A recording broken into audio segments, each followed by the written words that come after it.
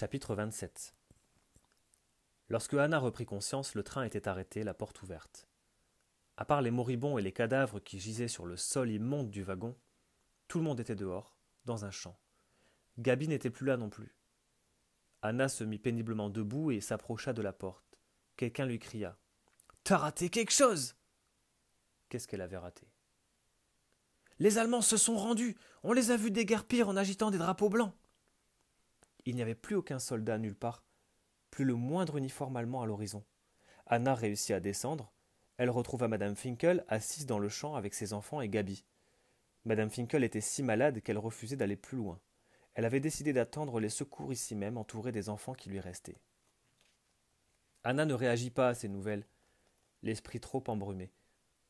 Malgré leur épuisement, elle et Gabi partirent en quête de nourriture et d'un abri en compagnie d'une jeune femme qui s'appelait Madame Heilbout, de son fils et de quelques autres personnes. Ils traversèrent un village du nom de Trebitz, où ils ne trouvèrent aucune maison vide.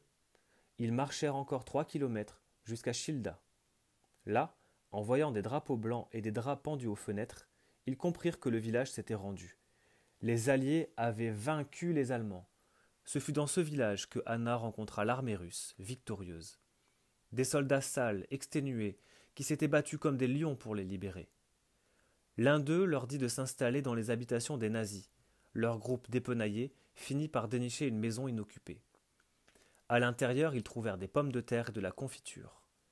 Madame Heilbout leur conseilla de faire très attention. Il fallait manger très peu et très lentement, parce qu'ils étaient dans un état de dénutrition avancé. Sinon, c'était la mort assurée. Quelle horreur de mourir au moment où ils étaient enfin libres. Madame Heilbout emmena Anna dans le jardin et lui montra un fouillis d'herbes hautes. Cueille ça, ça nous servira de légumes. Anna s'enfonça dans le taillis et ramassa des orties que Madame Heilbout fit cuire dans une casserole. Malgré l'envie qu'elles avaient de se jeter sur la nourriture, Anna et les autres s'efforcèrent de n'avaler que de toutes petites bouchées de confiture, de pommes de terre et d'orties. Madame Heilbout, qui avait perdu toutes ses dents, mâchait avec difficulté. La maison où ils étaient installés appartenait au maire du village. Anna alla visiter une des chambres. Dans l'armoire, elle trouva une robe à sa taille. Une fille de son âge avait dû habiter là. C'était une robe d'hiver en lainage sombre, elle l'enfila et jeta sa vieille défroque. À l'arrière de la maison, elle se débarrassa de tous leurs vêtements, qui n'étaient plus que des haillons crasseux. Ce soir-là, Anna se glissa dans le lit de la fille. Elle se pelotonna sous l'épais édredon de plumes. C'était chaud et doux. La guerre était vraiment terminée. Cela lui semblait magique d'être de nouveau couchée au chaud.